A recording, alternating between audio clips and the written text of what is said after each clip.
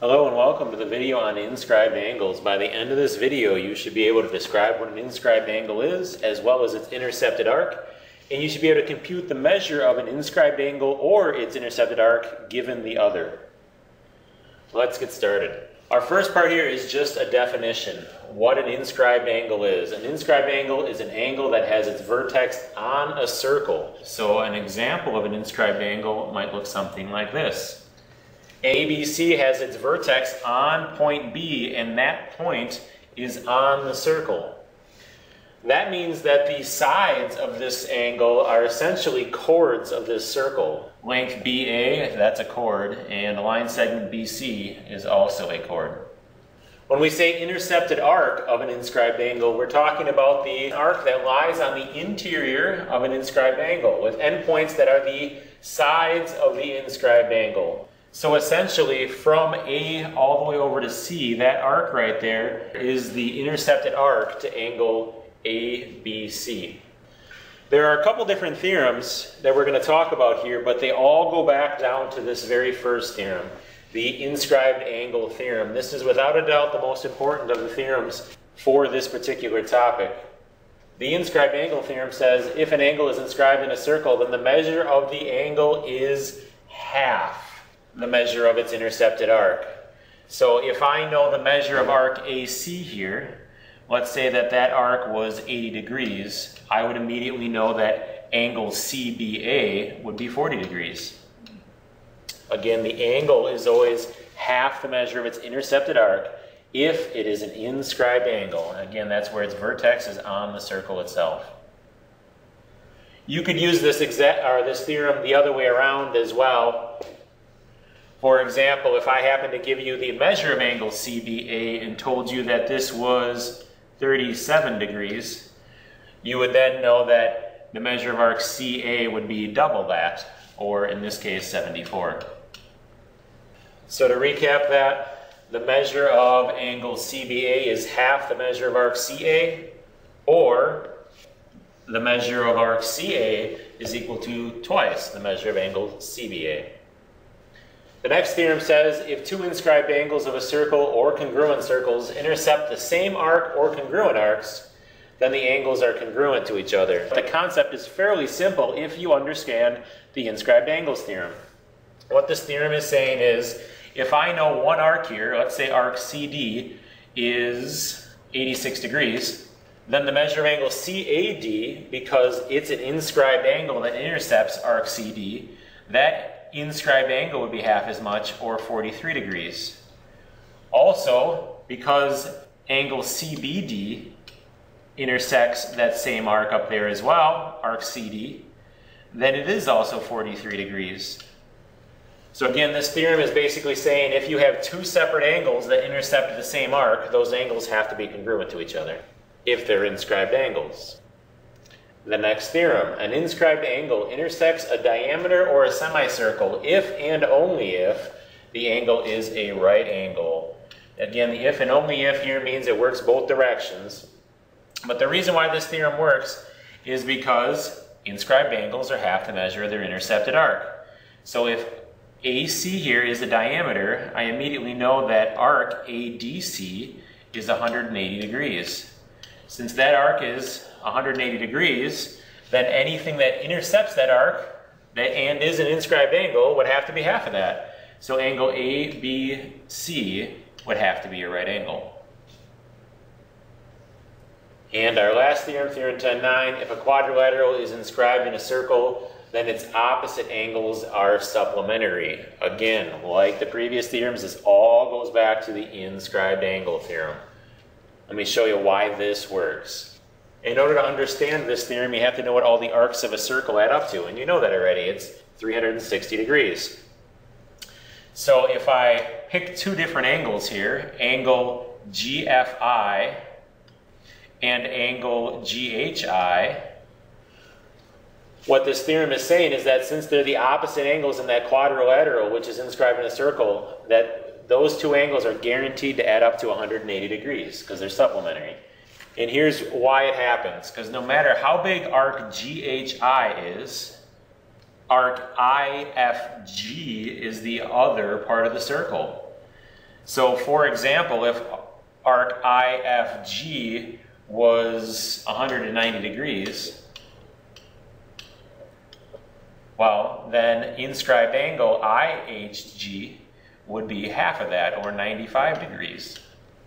Well, since all the arcs of a circle add up to 360, if arc IFG was 190 degrees, then arc IHG would have to be the rest of the circle, or 170 degrees.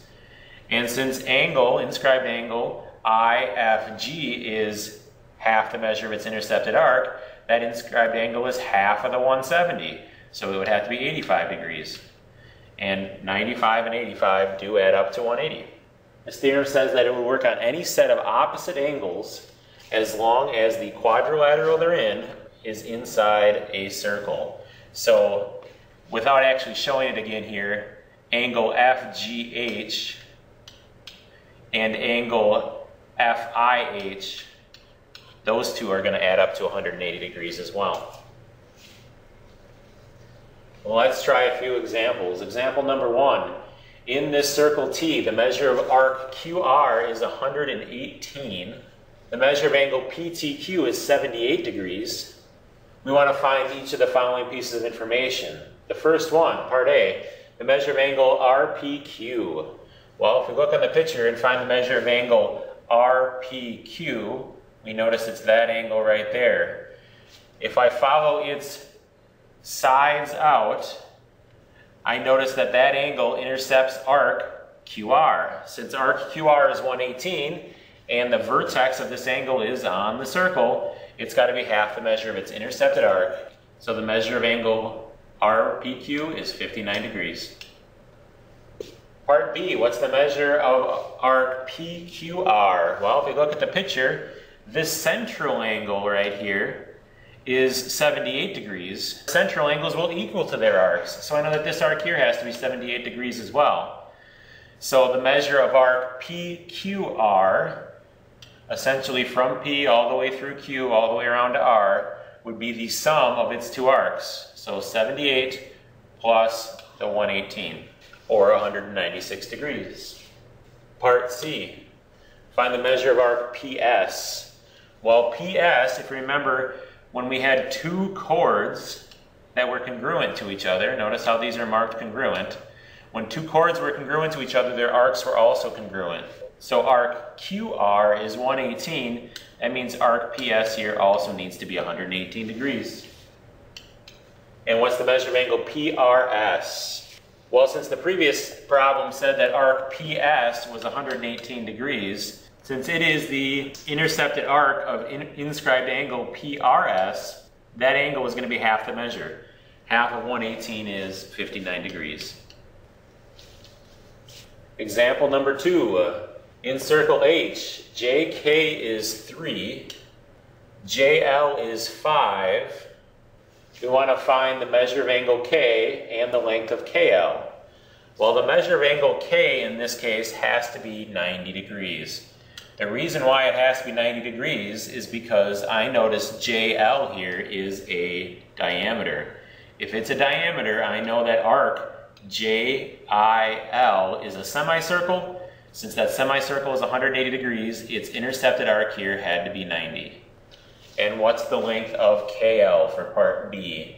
Well, for KL, since I know that this angle, angle JKL, is 90 degrees, I can redraw that little triangle there.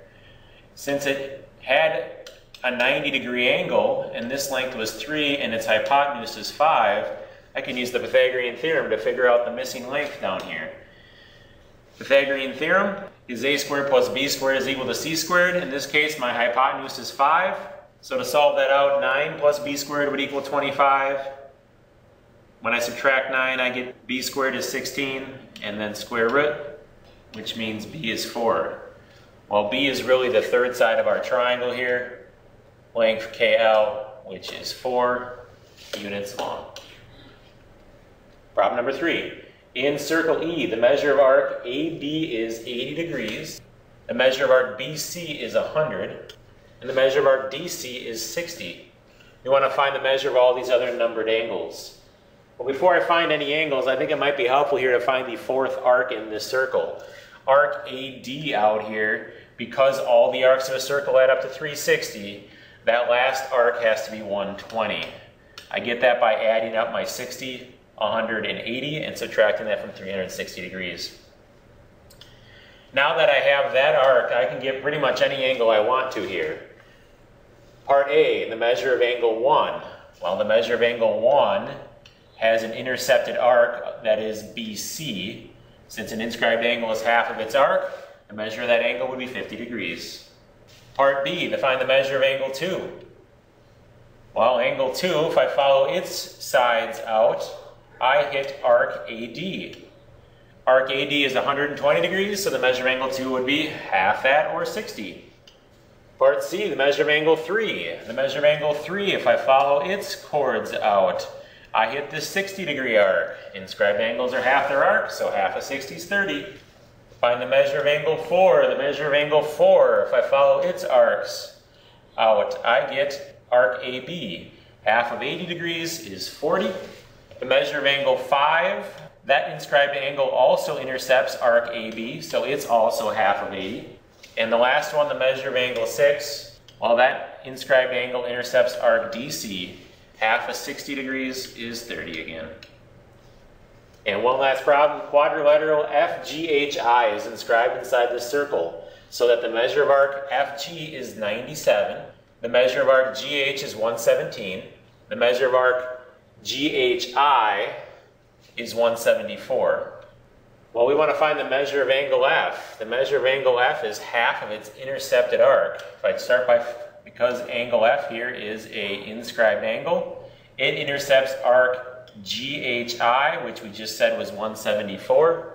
Half of 174 degrees would be 87. Since I know the measure of angle F is 87 degrees, I immediately know that the measure of angle H has to be supplementary with that. So 180 minus the 87 is going to give me 93 degrees.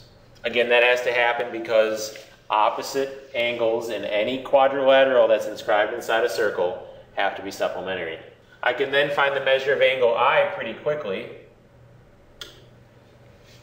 The measure of angle I, well, that inscribed angle inscribes arc FGH, and FGH is really the 117 plus the 97 or 214 degrees. If that arc is 214 degrees, then half of that would be 107 degrees. And if that's 170 degrees, the measure of angle G has to be 180 minus that. So 180 minus the 107 is going to be 73. This concludes our video on inscribed angle. Have a wonderful day.